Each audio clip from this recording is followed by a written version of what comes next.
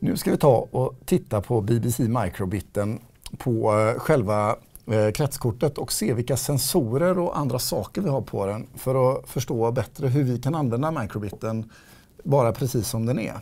Så Nils, om vi skulle börja med att titta här på framsidan av den så ser man ett rutnät. Vad är det för någonting? Eh, det här är 25 ljusdioder som sitter ihop och skapar ett display eller ett kärn som man kan använda för att eh, till exempel visa upp animeringar eller text eller sånt. Och det går ju att styra varje eh, lampa eller varje pixel för sig och det går ju även att styra vilken eh, ljusstyrka de har. Och en sak som är lite spännande med de här eh, LED-lamporna är att de också fungerar som en ljussensor. Mm. Så den kan känna av eh, om det blir mörkt eller ljust eh, ovanpå den ja. Eh, utifrån eh, den här eh, LED-displayen. Ja. Bredvid den så ser vi två stycken knappar. Va? Ja, vi har en A-knapp och en eh, B-knapp. Uh, och de kan man använda i ett program till exempel när jag trycker på den här knappen så ska någonting hända. Eller när jag trycker på båda knappar samtidigt så händer någonting annat. Nedanför knapparna och den här eh, LED-displayen så ser vi tre stycken portar. Mm.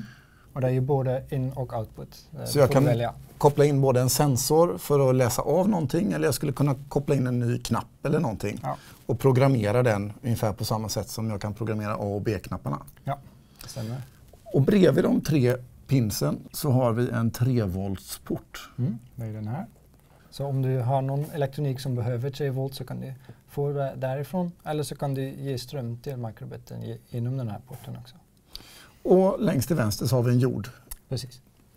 Eh, jag har också förstått att man kan koppla in den här till en, eh, ett tillbehör och på det sättet eh, få ihop många fler portar på den. Ja precis. Det är ju de här lite mindre streck som sitter emellan är ju också pinnar.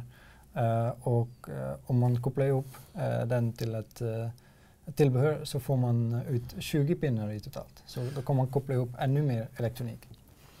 Och om vi skulle ta och vända på microbiten och titta på baksidan så ser vi eh, dels så ser vi den här USB-porten. Det är mm. kanske den man använder mest för att koppla ihop microbiten till datorn för att föra över mjukvara. Mm. Och den får ju också ström genom den här sladden. Och precis bredvid den så har vi en rund svart knapp. Mm.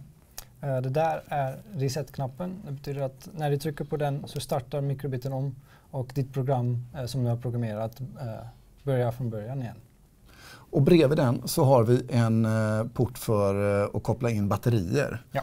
Och eh, det är bra att veta det att det går att koppla in olika sorters batterier i den här. Man kan ha runda knappbatterier eller LiPo-batterier till exempel. Och såklart som du var inne på Nils, man kan tillföra ström också genom USB-ingången på den. Mm. sen har vi några små svarta lådor här. Mm. vad vi kan kalla dem för någonting. Ja, det är den här. Och det är uh, själva uh, chippet, microcontroller, som du programmerar. Uh, och en spännande sak där är att den har ju en inbyggd temperatursensor. Så man kan med hjälp av microbiten programmera den för att känna av olika temperatur mm. direkt ifrån chippet. Ja. Vi har några små svarta lådor nedanför där, mm. ner mot pinnarna till. Om vi börjar med den här. Det är ett kompass eller en sensor som känner igen ändringar i magnetiska krafter. Så om jag kommer förbi med en magnet så kan jag känna igen det, eller mikrobiten känner igen det. Eller så kan man använda den för att känna okay, vilken riktning ligger Norden och bygga sitt eget kompass med det. Eh, vi har också på microbiten en eh, accelerometer och en gyrometer. Mm. Vad gör accelerometern?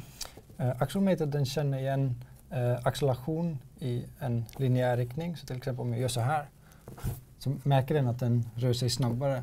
Eh. Så själva accelerationen känner den av ja, eh, i tre olika riktningar. Ja. Och sen har vi en gyrometer på den också. Mm. Och den känner av vridningshastigheten. Ja, så om jag gör så här kan vi känna igen det. Eller om jag vrider i olika riktningar. Utöver detta så har den också en liten radioenhet mm. eh, på sig. Och radioenheten den kan man också använda eh, och den använder man till exempel när man kopplar ihop den med en iPad. Va? För då uh, körs den uh, Bluetooth. Så Bluetooth-protokollet det körs över radioenheten mm. som finns på mikrokontrollen, eller på mikrobiten. Mm. Så som ni hör så finns det väldigt många sensorer på både fram och baksidan av den och merparten av dem De kan man programmera med både blockprogrammering och med annan programmering.